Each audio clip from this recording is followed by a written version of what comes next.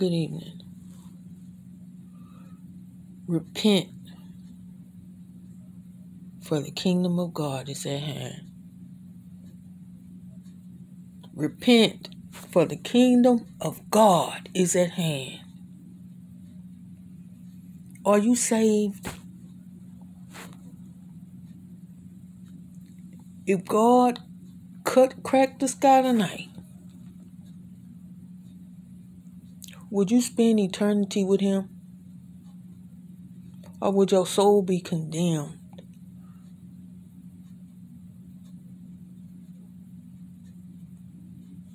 Are you living a life that you wouldn't be ashamed of in front of him?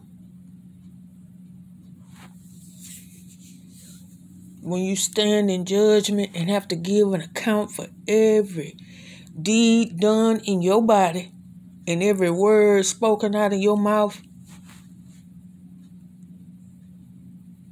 will your name be written in the book of life? Will he say to you, Well done, good and faithful servant? Enter into my rest. Or will he say, Depart from me, I never knew you?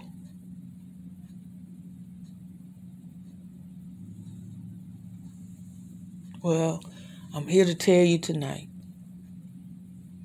that if you want to be saved, God wants to save you. Yeshua already paid the price. Salvation is free. It won't cost you a thing to be saved,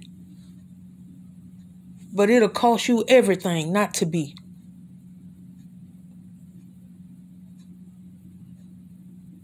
Because the wages of sin is death.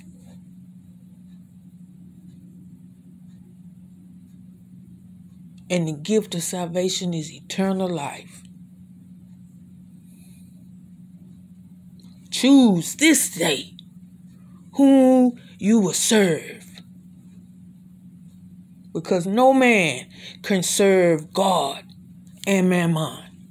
No man can serve two gods. You got to choose. Are you going to be of the world or out of it? Are you going to be God's child or not? Are you going to submit and say, Not my will, but your will be done, Father? Repent, for the kingdom of God is at hand.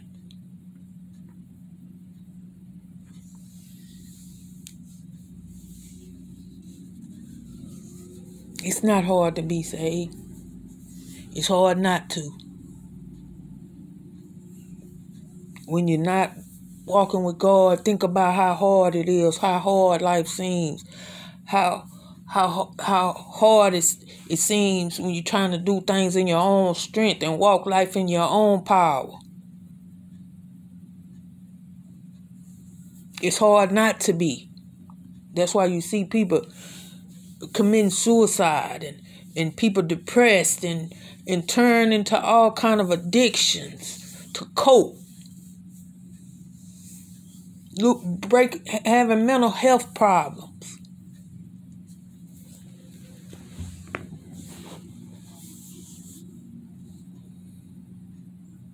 confused, morally and, and, and physically confused. Because without God, there is no peace. So, I'm here to tell you that God loves you.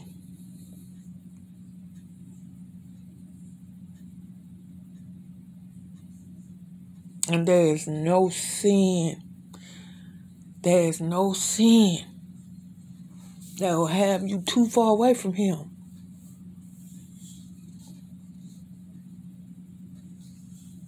Do yourself do yourself a favor and your soul and repent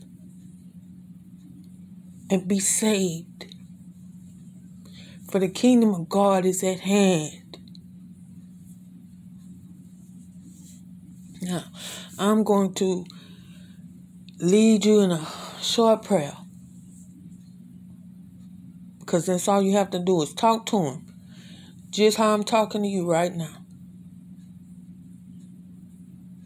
Because he's everywhere and he hears everything, just like he sees everything. He's omnipotent and omnipresent. Thank you, Father. Heavenly Father, we come to you with bowed heads and humbled hearts. For you said, wherever two or three are gathered together in your midst, are gathered together in your name, I'm sorry, that you will be God in the midst. You will be there with us. So, in the spirit, I am connecting with whomever is listening to this prayer. Confident and assured that you hear and are listening to their heart and mind.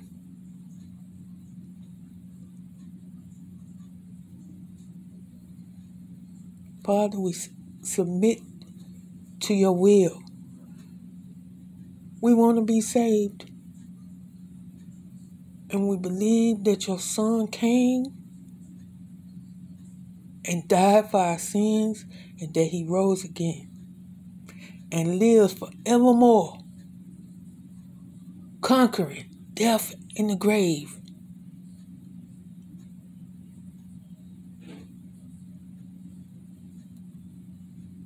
Thank you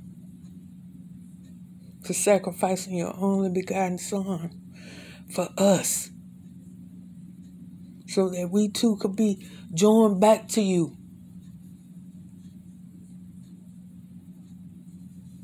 And be with you forever in eternity. Thank you for giving us a chance. We ask that you come into our hearts and cleanse us and renew our minds. Save us. We welcome you. And by faith, we receive it and we believe it. Thank you for saving us. Thank you in the mighty name of Yeshua HaMashiach, whom we call Jesus. Thank you, Father. Amen. Well, if you prayed that prayer, you are born again. Welcome to the kingdom of God. God loves you, and so do I. Hallelujah. The angels in heaven are rejoicing right now. And my heart is so glad. Okay. Be blessed. Till next time.